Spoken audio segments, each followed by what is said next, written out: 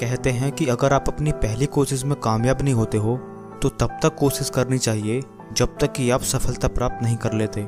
यह बात कहने और सुनने में आसान लगती है, लेकिन जब अप्लाई करने की बात आती है तो बहुत हिम्मत की ज़रूरत होती है। और इस हिम्मत की मिसाल हमें आई अधिकारी के जय गणेश से लेनी चाहिए, जिन्होंने अपनी अद्वितीय दृढ़ता और लगन से अपनी कोशिश जारी रखी और अंततः अपने सपनों को हासिल करके ही दम लिया।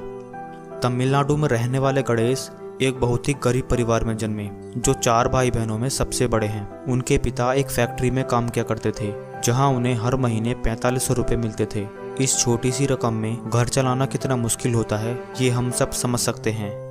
गणेश ने अपनी इंटरमीडिएट की परीक्षा इक्यानवे परसेंट अंकों से पास की और फिर उन्होंने मैकेनिकल इंजीनियर की पढ़ाई के लिए Thanthai Periyar institute of technology में एडमिशन ले लिया। लेकिन परिवार की स्थिति इतनी भी अच्छी नहीं थी कि उनकी पढ़ाई का खर्चा भी अच्छे से उठा सके। इसलिए उन्हें बेंगलुरु की कंपनी में नौकरी करनी पड़ी। नौकरी करते हुए कुछ वक्त ही बीता था कि जय गणेश को एक बात समझ आ गई कि इस नौकरी के सहारे वो न तो अपना और न ही अपने परिवार का भला कर पाएँगे। नौकरी करते हुए वो हमेशा अपने गाँव के लोगों की दयनीय स्थिति के बारे में सोचते। वो चाहते थे कि वो अपने गाँव की हालत भी सुधारे और ये सब वो इस छोटी सी नौकरी से बिल्कुल नहीं कर सकते थे। इसलिए उन्होंने आईएएस अफसर बनने का फैसला किया और नौकरी छोड़कर आईएएस की पढ़ाई शुरू की। पहले दो प्रयासों में जय गणेश आई का प्री एग्ज़ाम भी नहीं निकाल पाए। उसके बाद उन्होंने चेन्नई की एक गवर्नमेंट आईएएस कोचिंग का एंट्रेंस एग्ज़ाम पास करके उसे ज्वाइन कर लिया। जहाँ उन्हें कोचिंग की तरफ़ से खाना और कमरा फ्री मिला।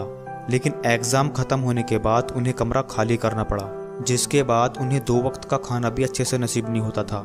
लेकिन इन मुश्किलों को उन्होंने अपने इरादों के बीच कभी नहीं आने दिया और एक छोटे से होटल में पार्ट टाइम वेटर की नौकरी कर ली, जहाँ दिन के वक्त वो नौकरी करते और रात में अपनी पढ़ाई।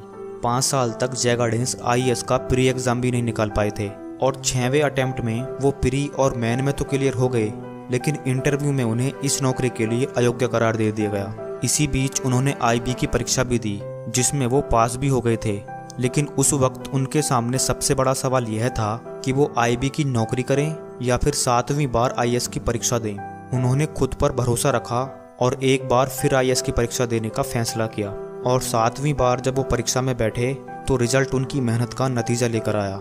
इस बार जय गणेश ने पूरे देश में एक सौ रैंक हासिल की। और आई अफसर बनने का अपना सपना पूरा किया।